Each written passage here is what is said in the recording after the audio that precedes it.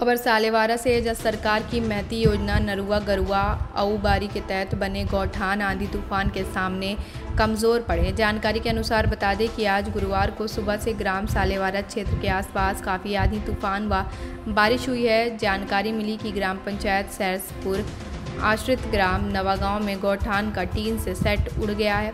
तब जाकर देखा गया तो टीन सेट उड़कर सड़क किनारे गिरा पड़ा था।